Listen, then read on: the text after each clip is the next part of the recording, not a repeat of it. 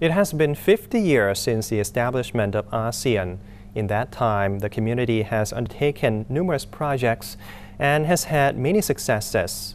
In today's special program, uh, we'll recap the key milestones of the regional bloc.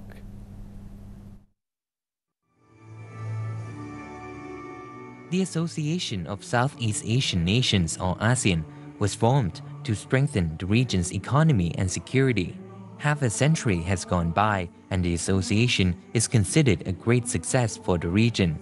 ASEAN was established in Bangkok on August 8, 1967, with Indonesia, Malaysia, the Philippines, Singapore, and Thailand being founding members.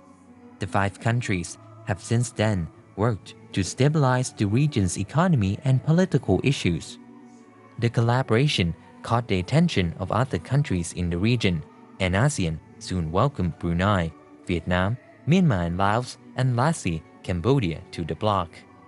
Looking at each of the three main pillars of ASEAN, starting with political security community, the ASEAN Declaration has fostered bonding and cooperation in the political arena and group security, resulting in the region having stronger negotiation power and defense mechanism.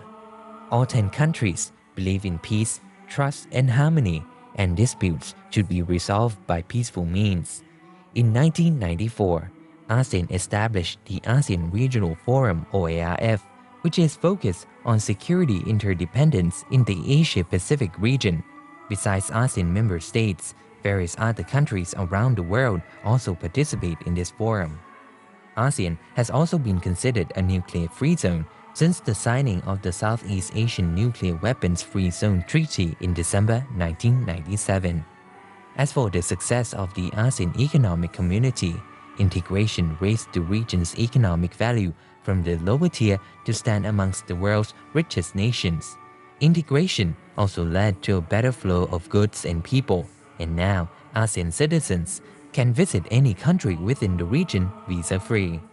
Investments among ASEAN countries are also made easier. The potential of the region has proved very attractive to outside investment. Regarding the ASEAN socio-cultural perspective, the 10 ASEAN countries have organized various activities and meetings to jointly develop the region's human resource capability, public health and environment protection, programs to assist each other in times of crisis, such as natural disasters and disease controls, have been put in place.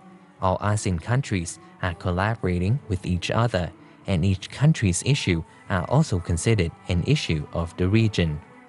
For 50 years, the bonds have continued to grow, with more and more meetings and cooperation taking place within the region and beyond.